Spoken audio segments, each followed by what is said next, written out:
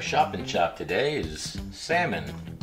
So this is um, this is farm raised salmon, but um, it's really nice colors. What do you want to look for? You want to make sure the flesh is firm, that it doesn't smell, it's not slimy. Um, I've rinsed this off with cold water and I've dried it off uh, really good.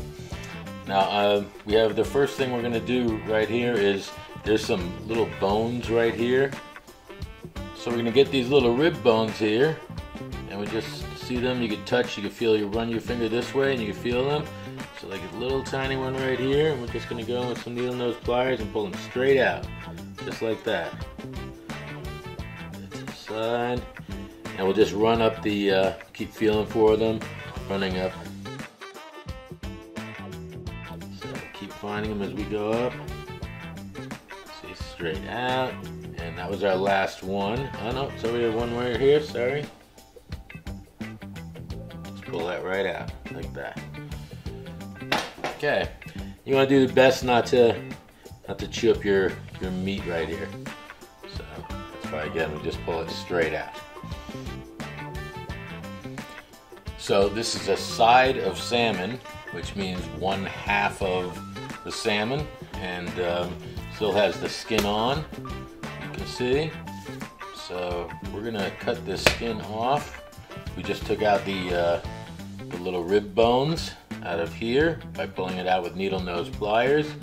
And so now we're just gonna take our slicing knife here, big slicing knife, and we're gonna just cut a little tab right here down to the skin and then start cutting this direction we don't want to bend our knife too much because you want to just keep it flat against the cutting board.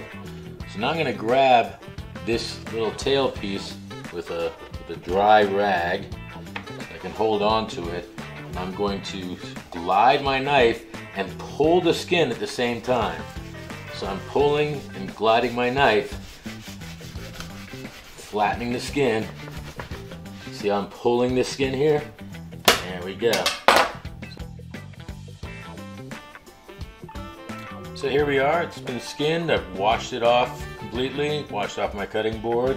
Uh, we're just gonna dry this, make sure this is completely dry.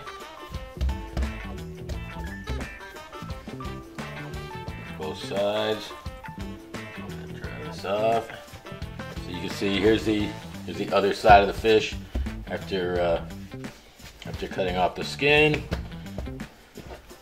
The biggest thing is you really want to keep fish dry for storage. Um, when you buy it from the store, you really want to even look at the package and see if there's water in the corner, like tip the, tilt the tilt the package and see if there's a little water in the corner. And um, you want to look for a package that doesn't have that because uh, fish can't sit in water; it'll definitely rot. We can cut the tail off here and uh, try and get ourselves some even pieces. Is a nice thing to do. So we'll cut the tail off and I even cut the head off here. And now we have a nice section in the middle that's really even. That you could even like wrap this in puff pastry dough and make um, salmon en croûte or we can cut it into nice portions that everybody's gonna get you know the same portion. And then uh, stuff like this. Just cut this little uh, spine area out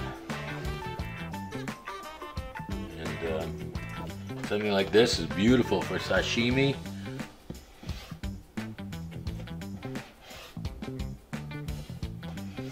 Making sure it's completely dry first, even before I wrap it in paper towel. And then I'm just going to, uh,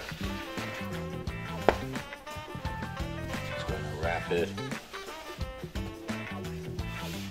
paper towel like this. And I'll just wrap this, just put this in either a plastic bag or wrap it in plastic wrap.